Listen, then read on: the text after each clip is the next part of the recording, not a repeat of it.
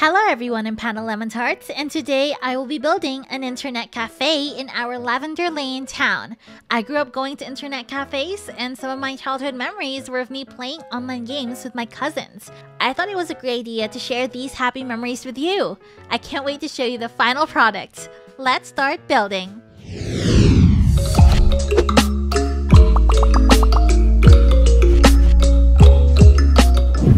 Like always, we start off by removing the plants to make space for the construction of our new building. But this time, I kind of just put them to the side because I felt bad about all the other times I just deleted them and lost money.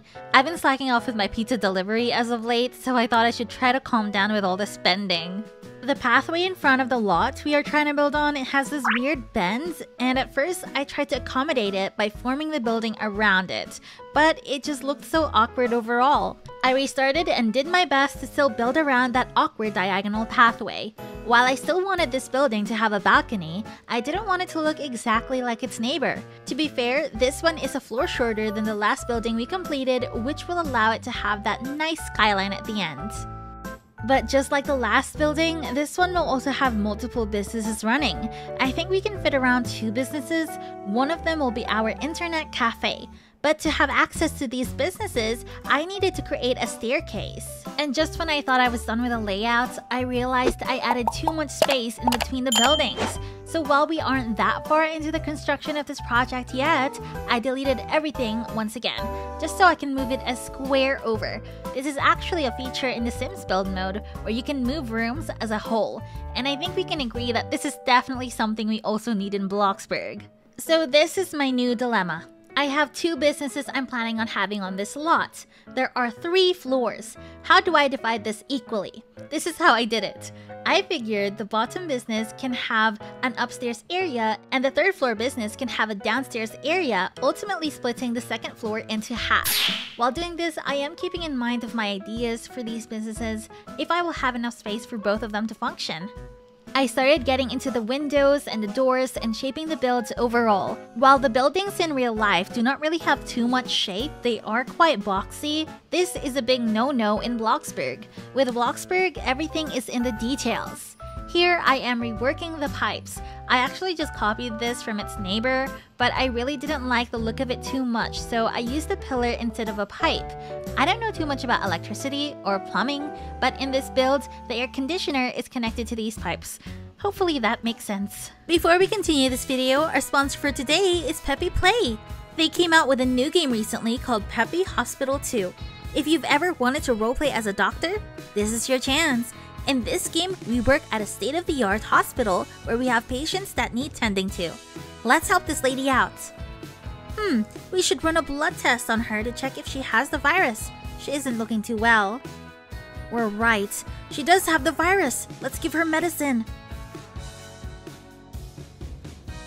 Perfect. She's all better. With this game, you can control the whole hospital. Every item is interactive. And we have access to so many other healthcare facilities like a vaccination room, a science lab, and not to mention the emergency helicopter. And there's still so much to explore. You can now download this game for free using the link in the description below or pinned comment. You can also download using this QR code right here. Now let's get back into the video.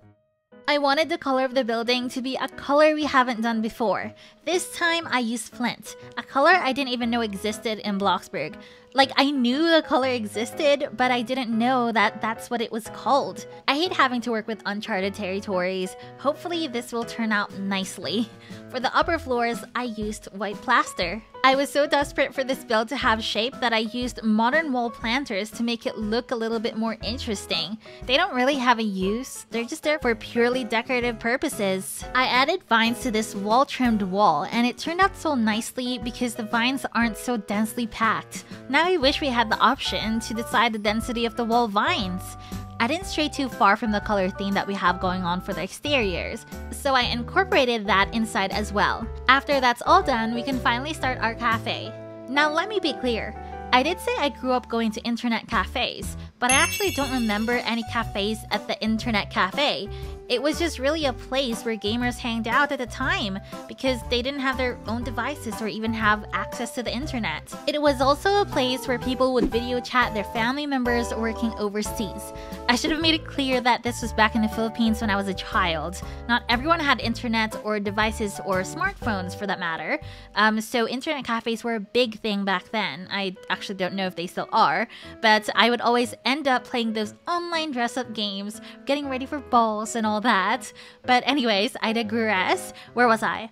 There was no cafes in internet cafes. We couldn't get drinks or food back then, but for the sake of its name and for the sake of this video, I will be adding this cafe and darn it, I'm gonna make it look aesthetic as heck. This cafe specializes in drinks and desserts, so hot meals aren't too much of a thing at this establishment. But that was only because I really didn't want to make a space for a stove. We aren't very rich in space, to be fair. I did have to close this cake storage thing because half of it is sticking out on the other side of the wall. If only we could resize it. I wasn't intending for this design to turn out so hipster like, but I guess this is where this is going. This is another thing my internet cafes didn't have when I was a kid lounge chairs to just lounge about. Actually, our sitting areas were just rows and rows of computers with cheap plastic chairs. Lavender Lane is actually so lucky I am designing this place. They literally get to have this amazing cozy hangout. Because this is an internet cafe, no doubt we will be needing computers for people to use or rent, more like.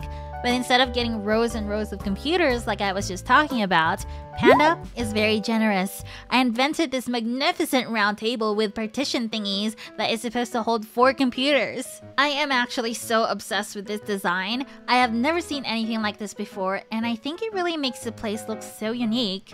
The partitions are there for privacy if you are doing essays or video chatting with family members, I guess, so other customers can't glance at your work, and this also goes for the employees too.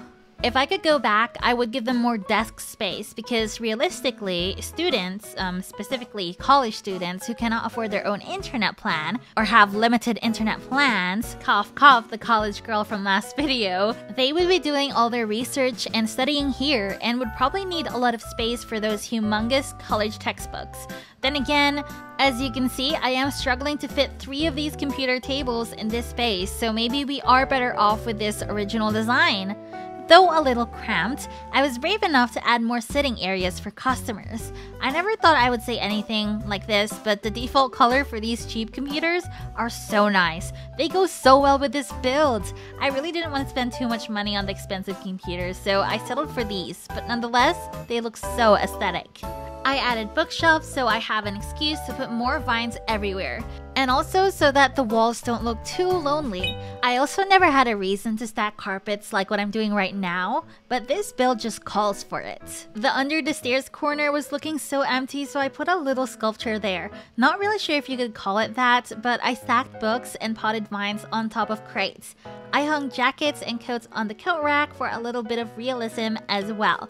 And I made sure to add an employee station on the side so the plates and the cutleries are a little bit more accessible for staff to hand out. I changed the flooring texture from tiles to wood and honestly, the best decision. I hope you guys haven't forgotten that we still have an upstairs area. This area is separated from the rest of the business space because it is the gaming hub. This is where the gamers come to enjoy each other's company well, more like enjoy their online friends' companies. But I don't know what came over me. I bought these expensive computers, and here I was thinking I was in my saving up era. So after splurging on that, I invested in two vending machines because the gamers are mostly teens who can't even afford to buy anything from the actual cafe downstairs. But I'm trying to be nice and give them a cheaper alternative in the form of a vending machine drinks. I added the seating from downstairs, shelves, and the carpets as well to make the whole business look more put together. Gaming rooms are a little bit darker, I think to remove the distractions so players can focus more on the games in front of them, so I colored the ceiling for that. And like a true gamer space, I added LED lights in red, of course. As a lavender lane business, they must have the iconic lavender plants right in front. And quickly adding finishing touches like adding posters, spilled coffee, used plastic cups in the bin area, and not to forget to hook up our building to the electric poles because we are an internet cafe and we need electricity to run. Anyways, we are finally done. Welcome to The Blur Internet Cafe. We are here to provide you with the fastest internet in the lane and satisfy your cravings and gaming needs. Let's start the tour. this is what our lavender lane looks like right now. I was thinking of adding another building on the other side of this road, but this is what it looks like overall. Isn't it so pretty? Let's go inside. I'm actually so proud of the exterior. I didn't think I was gonna make it with this one. I was like, oh, it's gonna look so bad. But it actually turned out fine, and I think it might be my favorite out of all of my Lavender Lane builds. I mean, look at this creation. Oh my gosh. I'm like fangirling over my own build because that's like computer desk thing is magical, bro. Magical. Also, shout out to Cat and Clara for being my baristas for this episode of the Lavender Lane series. That's them right there, and they are here to serve me my coffee. Yeah, that's right. And I really love their uniforms because it really fits the whole aesthetic of the place. I believe Cat was the one who made the uniforms, and I'm just, oh gosh, everything's just so well put together. Even the decals. The thing I love most about this build is the fact that anyone from any walks of life can just come in and they would have a space for them, you know? Um, so college students, teenagers, children playing games, you know, the elderly, especially the elderly, because some of them don't actually have devices at home. So they have to rely on these places to access the internet. And of course, the teenagers, those who like to skip school and just hang around in this place. Honestly, we're not gonna tell them off. They are bringing business over, you know? Um, yeah, Fun fact, I added these blinds not only because I wanted the room to be dark, but also because of the fact that if you open the blinds, it leads directly to the girl's apartment. Okay, that's kind of weird. But anyways, thank you so much for watching. I hope you liked this video, and don't forget to watch out for the next episode.